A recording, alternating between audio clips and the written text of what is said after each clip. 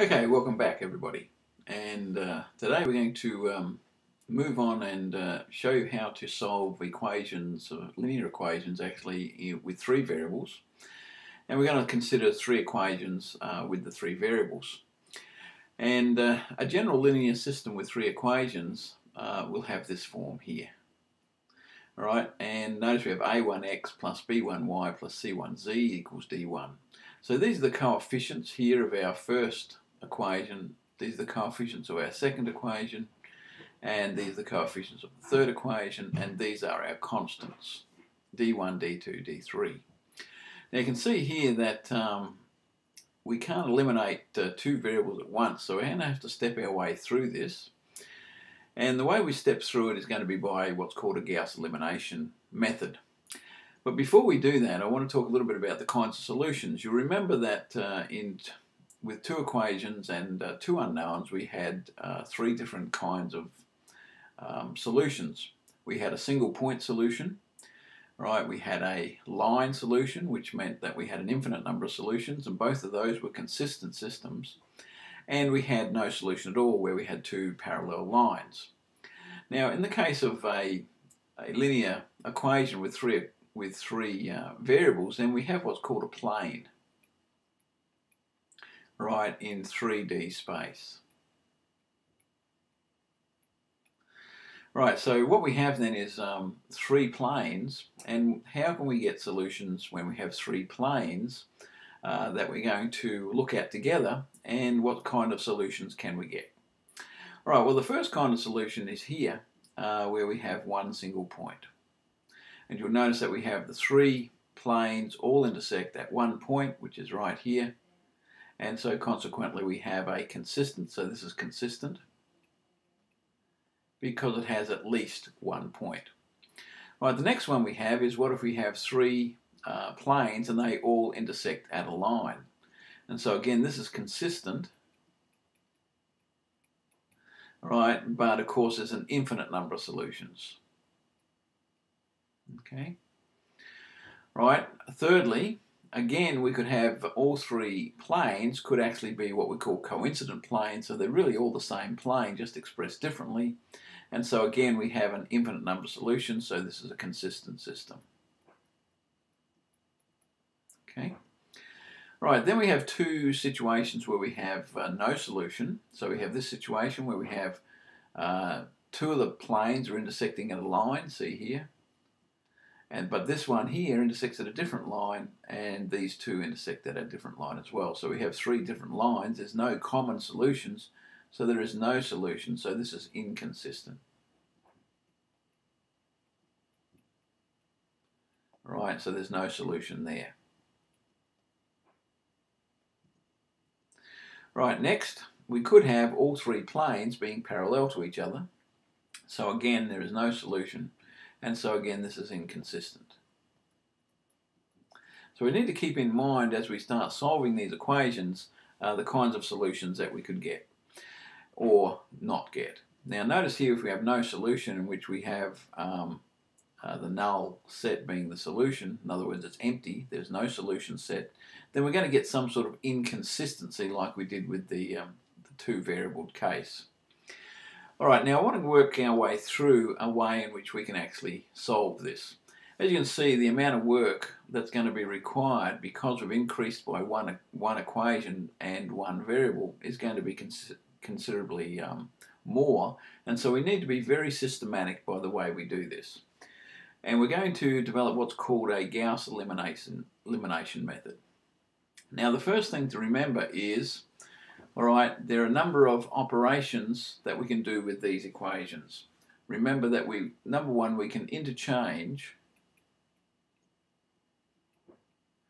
right, the equations. All right, that does not change the solution. So we're quite entitled to do that. Number two, all right, you'll remember, all right, that we had we could uh, multiply any equation by a non-zero constant. Okay, and we remember we said it couldn't be a zero because we just get a zero equation. That doesn't help us at all. And number 3 was the one where we could actually add a multiple of one equation to another. Alright, so we can add a non-zero multiple of one equation to a second equation. Okay, and this will produce a third equation. All right, and uh, that may be helpful to us. So what we are, our plan is to do is to take this uh, system all right so here's our system in general form if we have non-zero uh, coefficients. And we want to take this system and we want to reduce it using the, uh, um, let's call them uh, operations above there, 1 through 3, to reduce the system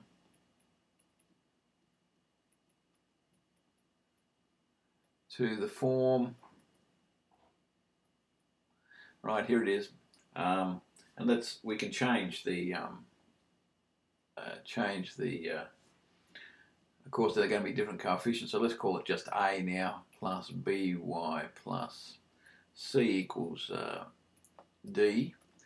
Alright, but the next one what I want to do is I want to reduce this by one variable and so I will get an EY say plus um, fz uh, f and equals g say for example. And then the final one would be hz is equal to uh, let's suppose k. Alright so in other words we are reducing it down to this by one variable at each step.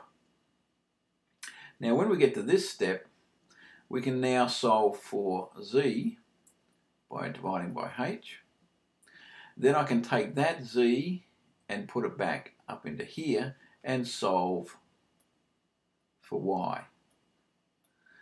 Alright, this is called a backward or back substitution. Alright, process. Alright, so now that I have y, I've got z and y, and I put that in here and here, and then solve for x. And that will give me my x, y, and z. Now, if at any point I get an inconsistency, like down here in this last one here, where I get, say, 0 equals some non-zero, then I know this is an inconsistent system. If I get 0 equals 0 down here, then I know it's a consistent system, but it has an infinite number of solutions. Now, this process here is called Gaussian elimination.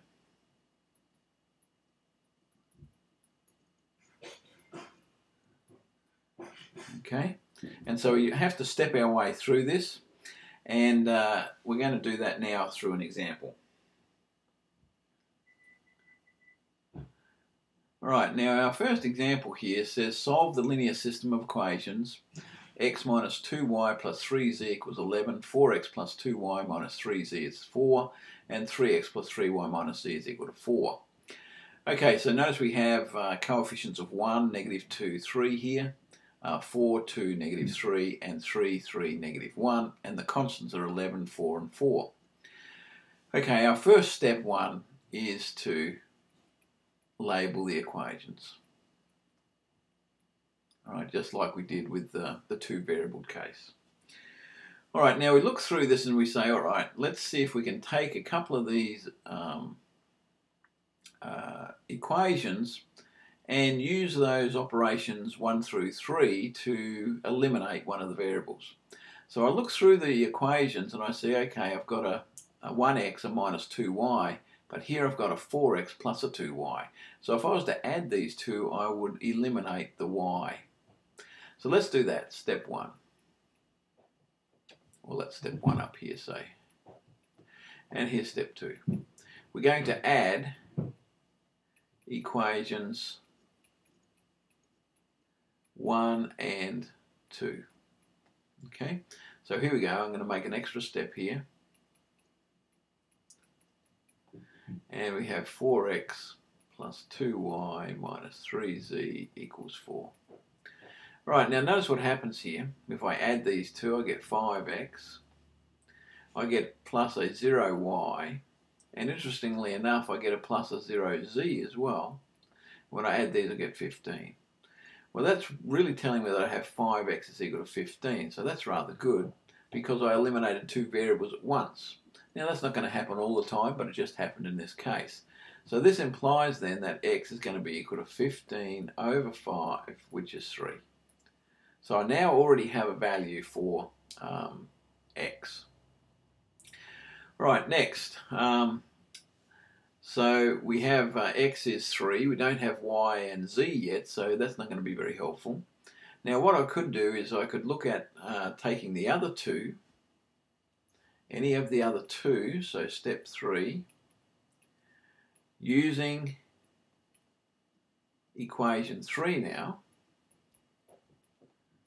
right, I want to use equation 3 because it's not the one I've used yet and see if I can actually um, do something with uh, one of these equations to see whether I can eliminate a, a, a variable again. Alright, so notice here that uh, I don't want to eliminate x because I know what x is. So always keep uh, alright in mind what you know. Alright, so what I can do though is I look at um, equation 1 and I look at equation 3, they're different in sign for the z, and I'm looking to uh, get rid of either z or y. And if I multiplied um, 3 by uh, equation 3 by 3 and then added equation 1 and 3, I'd get rid of the z. So let's do that. So I'm going to multiply 3 by 3. And I'm going to produce then uh, 9x plus 9y minus 3z is equal to 12. Right, so that's our new equation. That's our new equation 3, and I'm going to add that to equation 1.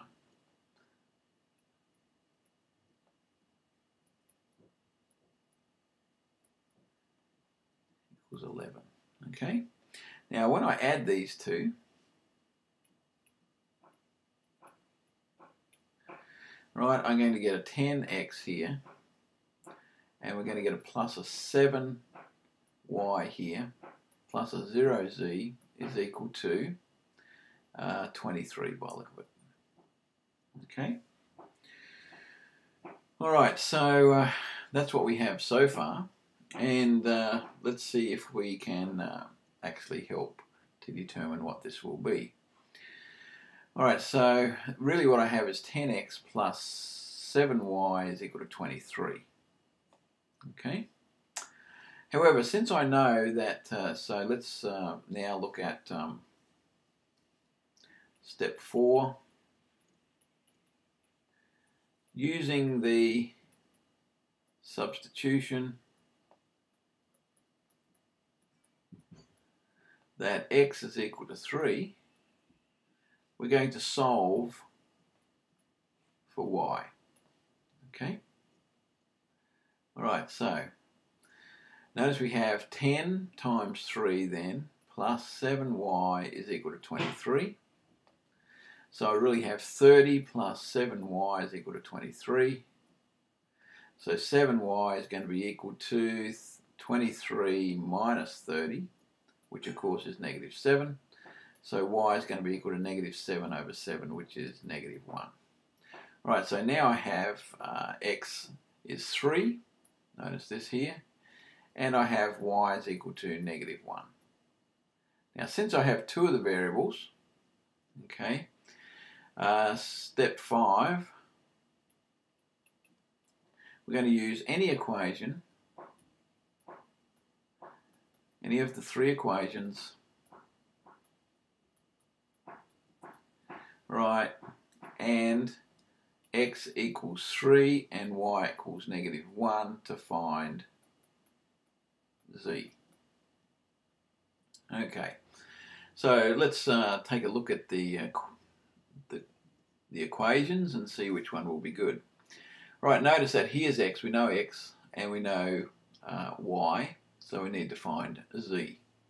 So I mean the first one would be fine. So let's do that one. x minus 2y. So what we have is x minus 2y, okay, uh, plus 3z is equal to 11. All right, so we have uh, x is 3, subtract 2, be careful we have a negative uh, 1 for y, plus 3z equals 11. So I have 3 plus 2 plus 3z is equal to 11. And so I have 5 plus 3z is equal to 11. And therefore 3z is going to be equal to 11 minus 5, which of course is 6. So if 3z is equal to 6, then dividing both sides by 3, I end up with z is equal to 2. So notice that we do have a unique answer. So step 6, right, this, the uh, system of equations is consistent,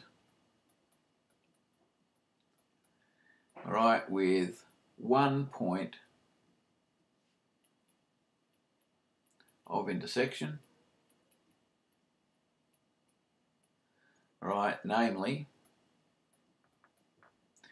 all right, it'll be the point, all right, um, 3, negative 1, 2, and remember it's a ordered triplet now, right, is going to be my uh, point of intersection.